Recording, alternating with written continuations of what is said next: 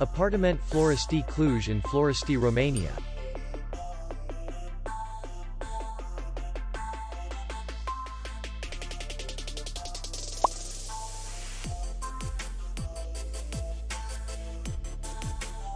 The hotel is in the city center. And distance to the airport is 16 kilometers. We welcome guests from all over the world.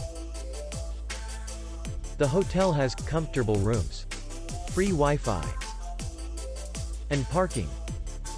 Our clients are very satisfied. We accept payment, only in cash. We will be glad to see you. For more information, click on the link below the video.